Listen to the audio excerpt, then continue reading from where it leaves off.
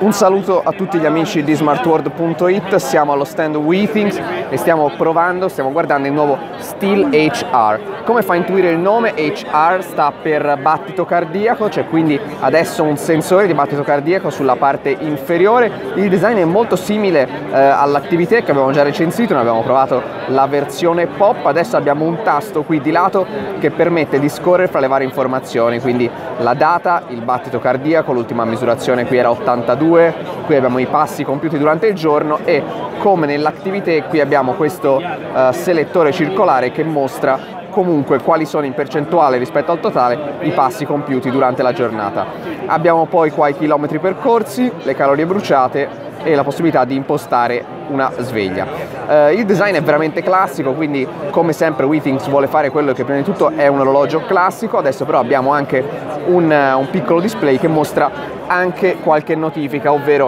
uh, sms, telefonate e impegni del calendario